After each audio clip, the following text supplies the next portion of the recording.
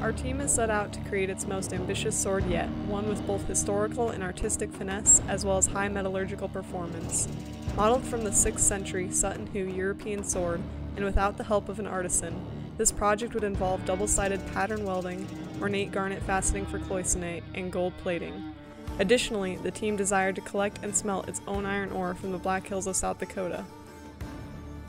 Once the ore was collected, it was roasted, crushed, and fed into the bloomery with charcoal to begin smelting. The reaction was controlled by adjusting airflow through the tuyeres, and slag was periodically tapped to prevent them from clogging. Once the reduction reaction was complete, the bloomery was dismantled to remove the bloom.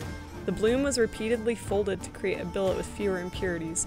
Unfortunately, the forging characteristics remained poor, and X-ray fluorescence, metallography, and energy dispersive spectroscopy revealed the presence of high residual sulfur and impurities that made the billet unsuitable as a primary blade material.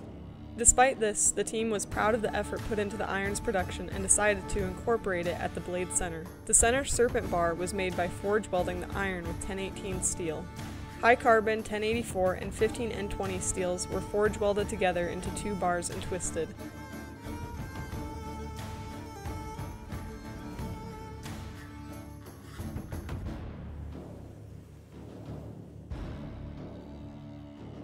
These were then forge welded to the sides of the serpent bar, creating a new billet.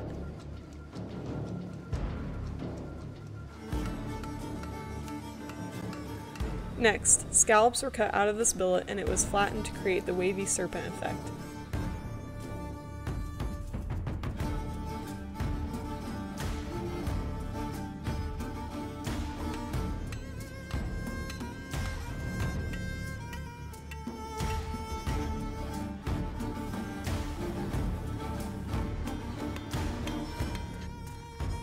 Six more twist bars were created with 1084 and 15N20 steels. Two were welded to the billet's edges to create the front face of the blade. The remaining four were welded to the back to create the back face. In this way, a double-sided pattern weld was accomplished.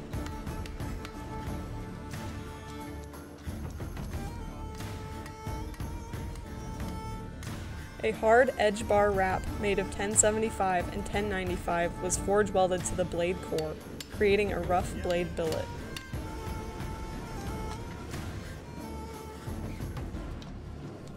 Next, the blade was forged to shape and thickness, beveled, fullered, and ground to a rough finish.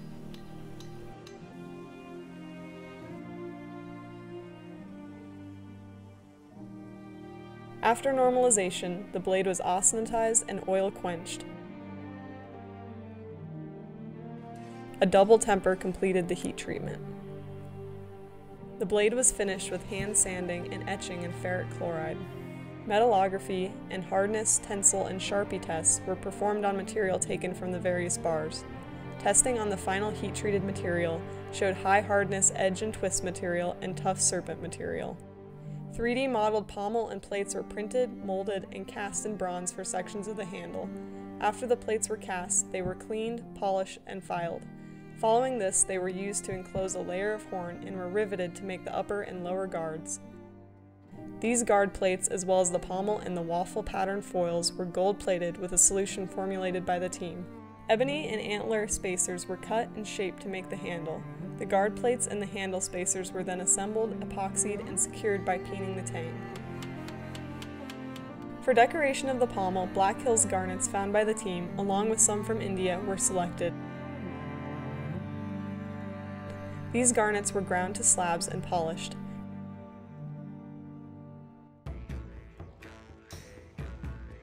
Each garnet slab in a gold-plated waffle foil was then cut to fit the cells of the pommel. Once the pieces were inserted, the bronze walls were peened using a punch and hammer. The pommel was secured, completing the sword.